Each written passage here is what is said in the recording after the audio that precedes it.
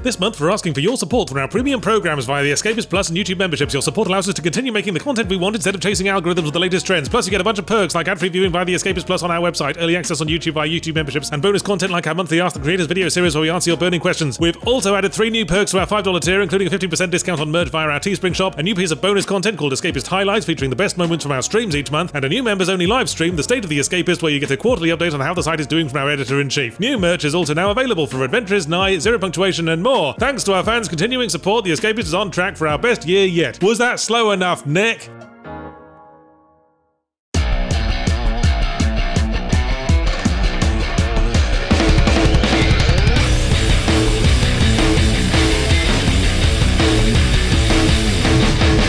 Hooray! Drought season's almost over! Woo! We got through another one without self-harming or playing too much weeb shit, but I repeat myself. Yay! Now there's only disease, poverty, climate disaster, and political disenfranchisement to sort out, and we can start focusing on the real issues, like developing a controller for a Nintendo console that doesn't give me old man wrist. But let's see out another droughty summer with one last indie double bill, focusing on that one special genre that is to indie games what intestinal parasites are to inexpensive Mexican food. Roguelites! Starting with Jupiter Hell. Now, as I'm sure I've said before, I'm tragically decrepit enough to remember that period in the 90s when we called every first person shooter a Doom clone. And Jupiter Hell made me very nostalgic because it's a Doom clone. But here's the twist, you procrastinating twat. It's not a first person shooter, but it is undeniably a Doom clone. Stop TikToking your amazed reaction and I will explain how. See, you play as a burly space marine who comes to a tech base deep in the solar system's flyover country to find it taken over by demons and zombies and must battle their way through the depths of hell, one fricasseed demonic bullsack at a time. In other words, it's Doom, but it's played in a top down grid based format that it refers to as turn based, but in the sense of those old Ultima games where the monsters were properly raised good little boys who politely waited for you to do something before they all simultaneously did their next thing. Jupiter Hell is, in brief, a love letter to retro PC gaming of that era, which should be obvious from the way it does its entire GUI ASCII style, with a big chunky font that looks like it's trying to beat my eyeballs to death with pixels. It also can't be controlled with anything but keyboard, but for me that's the point where deliberate retro homage crosses the line into just couldn't be asked to add controller support. The experience of Jupiter Hell is creeping your way through dingy hallways until an enemy shows up, then you endeavour to inch your way into cover before they can eat your health away, then you sit there pressing the fire key until they and the 19 friends they have arranged behind them in single file are all dead. So translating Doom to top-down grid-based action certainly loses in exciting violent spectacle what it gains in... what the fuck does it gain, actually? What does Doom have left without the violent in-your-face ballsack distressing catharsis? It's not exactly survival-focused, because I leave most levels fucking ankle-deep in the ammo and guns all the enemies drop that I couldn't squeeze into the child-sized fanny pack my dude brought along. What normally happens in a Jupiter Hell run is that I'll get enough levels deep for the enemy to finally graduate beyond fun-sized health bars, eventually get overwhelmed by one ambush too many, die, and then feel terribly discouraged because now I have to trudge through all the boring, easy early levels again, and randomly rearranging the specific layout of samey corridors doesn't add enough variety to be more worth my time than quitting the game and rearranging my desktop icons. This is the mistake roguelites always make. Who fucking cares if your levels are randomly laid out if the primary gameplay loop is always the same? That's where the fun lies in procedural design. Maybe the first run spawns me a 9mm pistol and a shotgun, but then in the second, maybe I have to get by with a hedge trimmer and a pair of magic shoes that spawns really interesting magazines everywhere I go, and it's a completely fresh experience. Jupiter Hell just isn't that engaging, and the turn based physics weirds me out every time an enemy mysteriously dies a moment before my rocket hits him, possibly because of vitamin deficiency. Our second roguelike is Dreamscaper, and this one does remember to have variety in its primary loop. It's got more weapons than a Palestinian car boot sale sword, knife, hammer, pool cue, boxing glove. Well, the game says that's what they are. Your character's so tiny whiny on screen she could be swinging around a pair of hairy goat testicles on the end of a serving spoon for all I know. And it doesn't help that the environmental lighting's so spotty, and we're doing the Ori and the Blind Forest thing where all the pickups, projectiles, and half the random meaningless background details all speak the universal language of nondescript glowing blob, including your bombs, which explode with all the cathartic impact and destruction of a playful mouse jumping into a bowl of glitter. Dreamscaper is a very Binding of Isaac affair, much the same kind of room by room treasure hunting, keys, bombs, secret rooms, boss fights business, thankfully with not quite as much poo. It does, however, throw an awful lot at you right off the bat. Light attacks, heavy attacks, ranged attacks, magic attacks, parry attacks, homeowner attacks. There are about half as many enemy types as there are ways to kill them. And don't forget to use your slow motion power so your clunky and unsatisfying standard attacks can get twice as much clunky and unsatisfying. So far, so standard. The real selling point of Dreamscaper is the premise. You're a lady who's moved to a new city from a small town struggling to get by and make new friends, and when you go to sleep at night, you go on a roguelite action adventure through labyrinths based on the memories of your life, fighting boss fights against symbolic demons with names like fear and regret and isolation, and oh my goodness, my hand is reflexively making the wanker gesture. See, I was drawn to it from the description saying how the main character has to work on her relationships in the real world to improve her abilities in Fantasy Battle Dreamland, which made me think, ooh, sounds like Persona. That shit's my jam. As in, jam my dick inside it and make several terrifying babies. But in practice, it's not that engaging. Our protagonist, whose name I forget, makes friends with various flavors of hipster when they smell her aura of pretentiousness and recognize one of their own. Then they have a conversation that sounds like something from an overwritten student webcomic from the 2010s, and that night you get plus 5% attack on all potato based damage or something equally not worth it. What might have helped is if all the characters weren't depicted as faceless wooden dollies who summon glowing words over their heads to speak. Feels like you're asking me to emotionally engage with the struggles of two ornamental toilet roll holders. I'm grouping Sega Dreamscaper with Sea of Solitude under the heading Arty Indie Games about people who need to get the fuck over themselves. What's so fucking hard about the protagonist's life that they need to fight symbolic fantasy battles in the dream world about it? Admittedly, I didn't get to the last levels. Maybe it turns out she accidentally impaled her sister on a Twix or something, but I'd expect her dreams to get to that point quicker if that were the case. Jesus Christ, what symbolic monsters do you think homeless orphans in Yemen dream about? Trick question, they don't dream about anything because the secessionist terror keeps waking them up.